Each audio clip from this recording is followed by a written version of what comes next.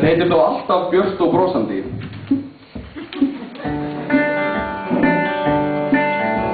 Eitt.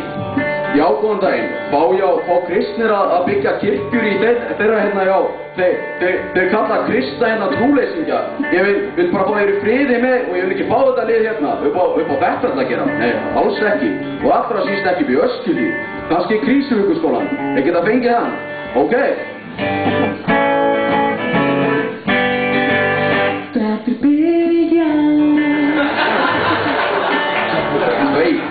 Já, já, góðan daginn. Mér finnst bara, þú veist að það eru trúabröð í múslimaröndum sem fá ekki að vera í friði. Eins og til dæmis Bahæ-trúun og svoleiðis. Og það kristin, kristin fá að vera í friði. Það eru Bahæir og í mörgum löndum sem fá, sem eru bara í Íran og svoleiðis. Nei, nei, og hvernig er þetta? Verða hátalarar utan þá kalla á bænahaldið það? Nei, það var í aðtúa ímislegt. Nei, mér finnst þetta ekki alls ekki vera leifilegt.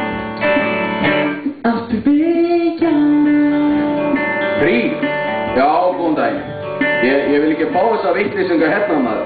Uss, já. Hefur ekki nóg með okkur bara. Ha, já. Byrjan Fjóri? Góðan daginn. Nei, veistu, ég heldur ættum bara að sleppa því. Mér finnst að hver félög ættu að hafa sín trúfélög fyrir sig í sínu landi. Já, það er líka algjör óþarfið. Ef að fólk fara að ykka sína trú, þá getur það bara verið í sínu heimalandu og gert það. Já, fyrst að Ísland er kristið, þá er það svona mestu. Takk, bless.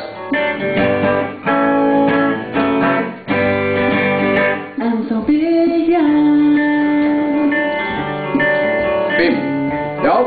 Já, nei, bara alls ekki. Ég hafa bara í síðasta lagi þessi hugsun þeirra, þessi menning sem þeir lifa við og trú á.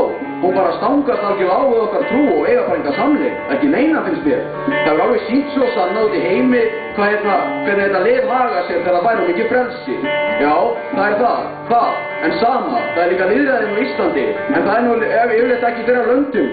Svo ég held að eigi bara engan, tengist bara engan hátt okkar menningar heimi sko. Ekki neitt sko. Já.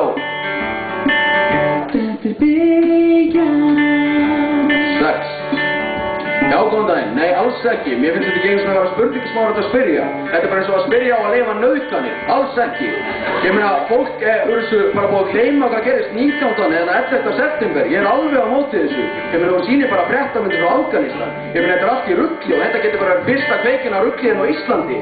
Og svo kallar það og svo endar það bara með því að Al-Qaida setur Ísland á okkur lista eins og við búið að hóta Danmörku. Ég meina, svona byrjar þetta bara. Ég, þetta er bara fáranleitt sko. Ég myndi, ég myndi, ég myndi halda þó að þessi moska myndi rýsa, það myndi bara einhverju gáða að taka sér til að kveika þessu drasti bara á næstu viku um, um leiðu að þetta væri komið.